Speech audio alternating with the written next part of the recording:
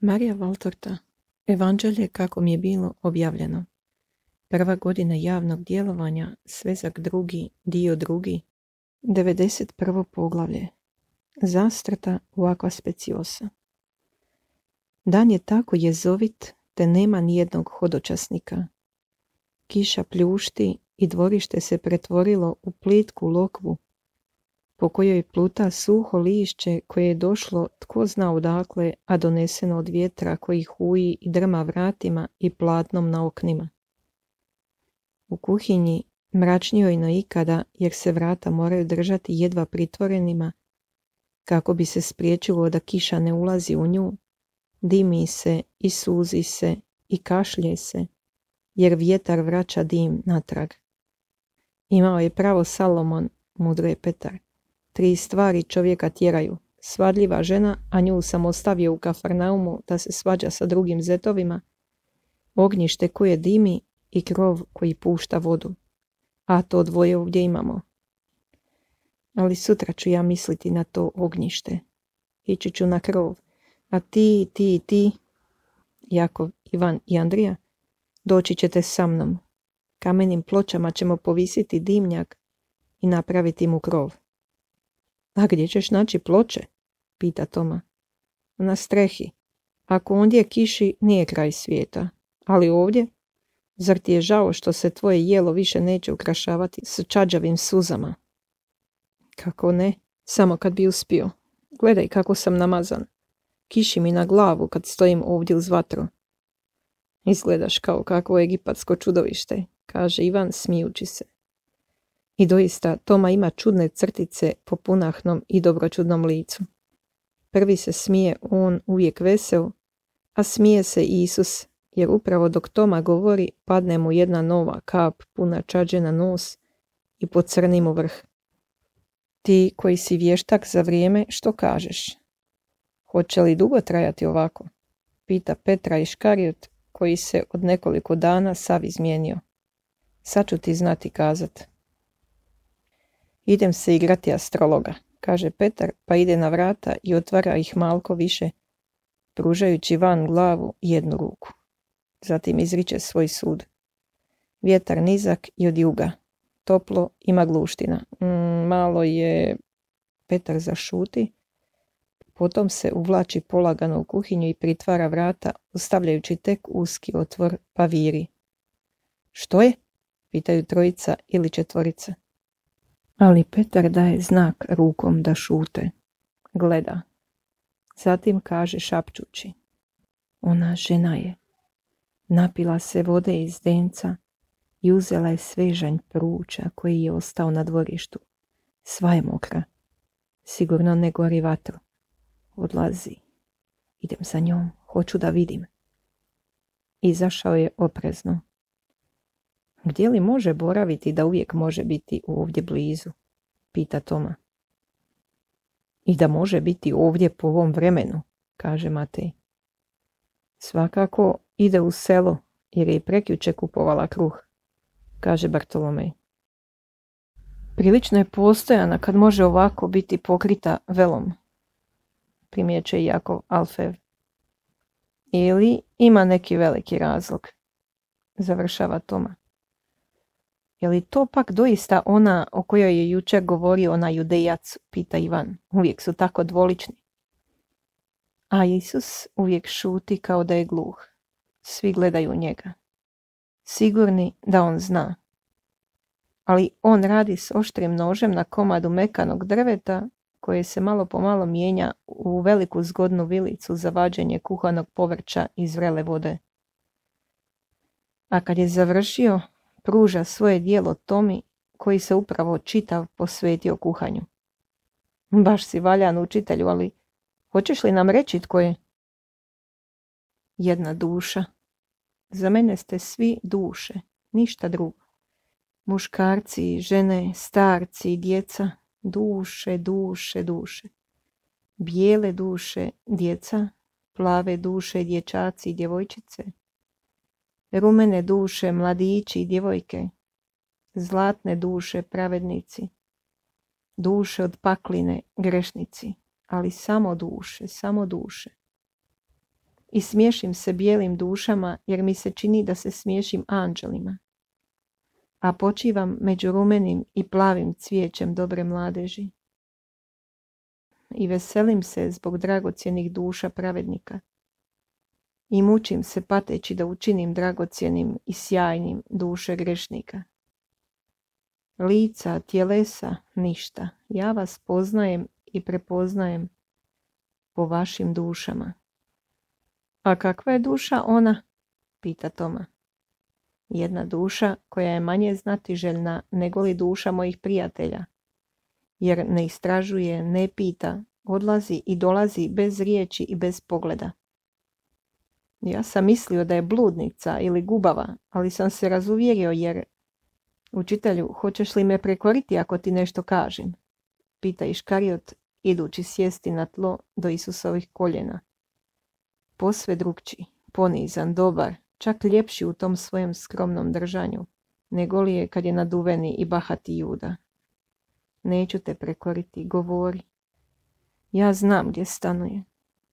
Jedne večeri išao sam za njom, pretvarajući se da idem uzeti vode, jer sam opazio da uvijek u mraku dolazi na zdenac. Jednog jutra našao sam na zemlji srebrnu ukosnicu, upravo na rubu zdenca.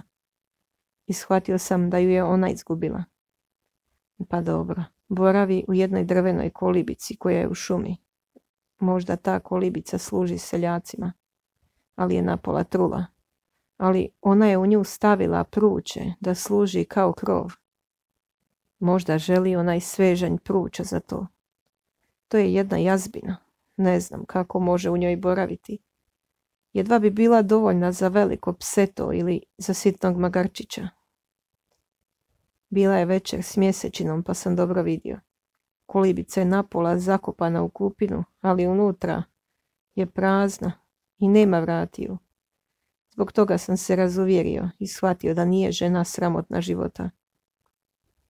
To nisi smio učiniti. Ali budi iskren, jesi li učinio više od toga?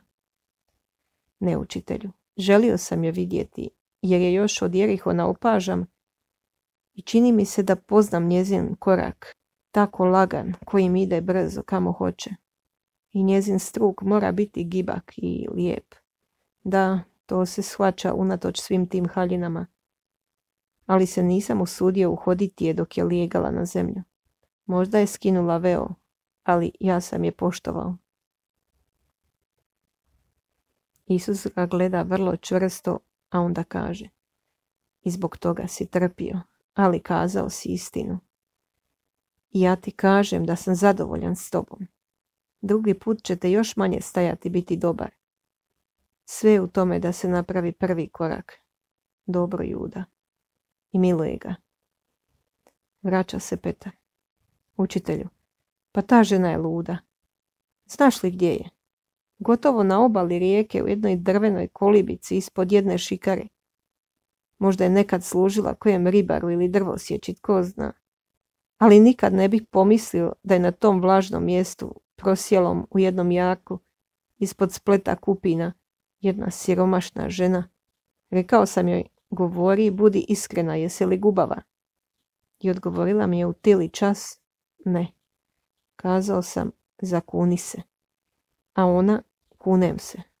Pazi, a ako jesi, a ne kažeš. I dolaziš blizu kuća, a ja doznam da si nečista. Da ću te kamenovati. Ali ako si progonjena, ako si lupežica ili ubojica, i stojiš tu od straha pred nama, ne boj se nikakva zla. A sad izađi odatle. Ne vidiš li da si u vodi? Jesi li gladna? Je li ti zima? Dršćeš. Star sam, vidiš li, ne udvaram ti se. Stari pošten, zato me poslušaj. Tako sam kazao, ali nije htjela doći. Naći će moju mrtvu, jer je doista u vodi. Isus je zamišljen. Gleda dvanaest lica koja gledaju njega. Zatim kaže. Što kažete, što da se učini? Pa odredi ti, učitelju.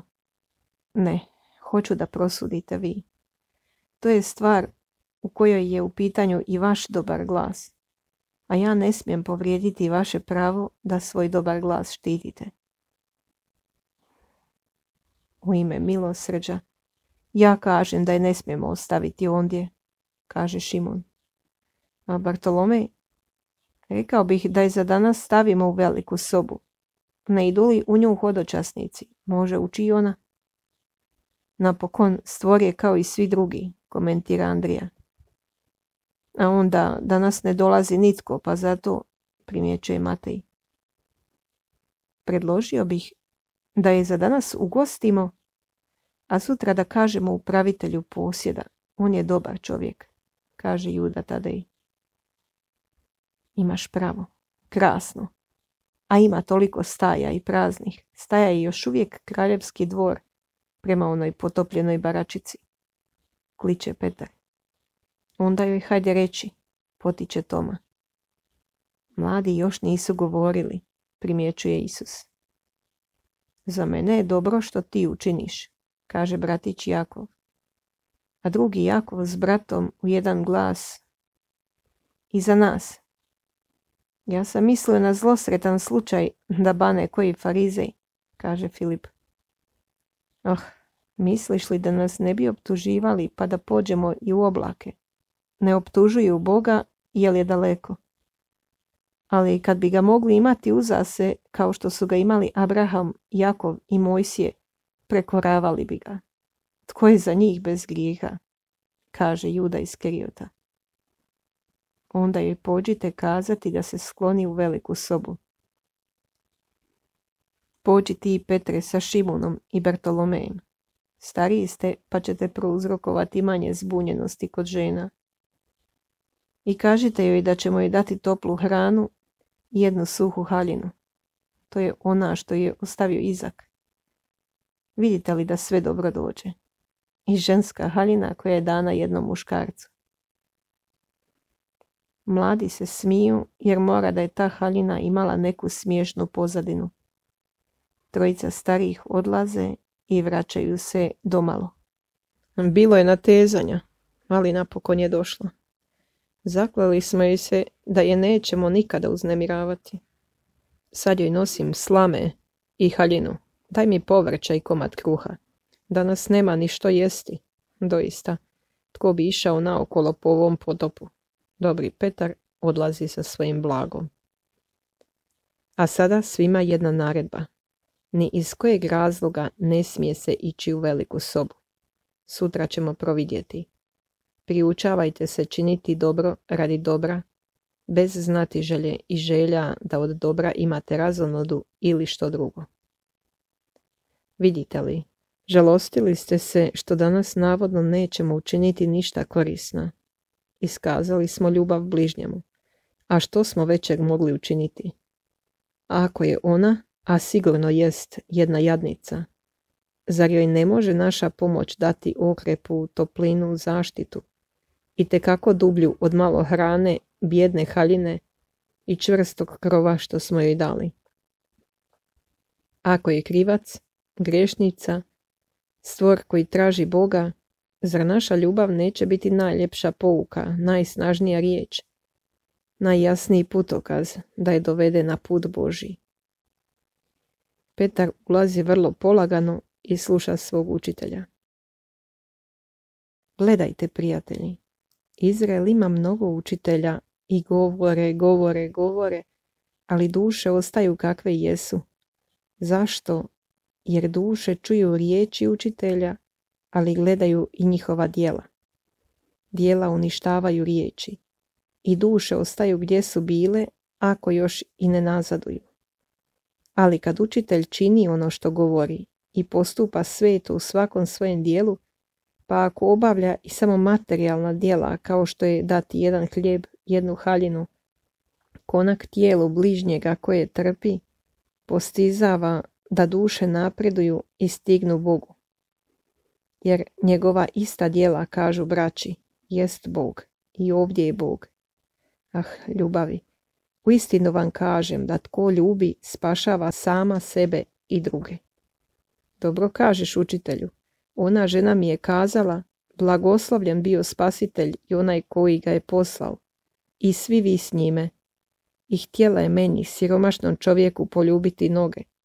I plakala ispod svoga gustog vela. Mah, sad se nadajmo da neće stići kakva noćna ptica iz Jeruzalema. Ako ne, a tko će nas spasiti? Spasit će nas naša savjest od suda našeg oca. Tako je dosta, kaže Isus, i sjedne za stol pošto je blagoslovio i prikazao hranu. Sve svršava.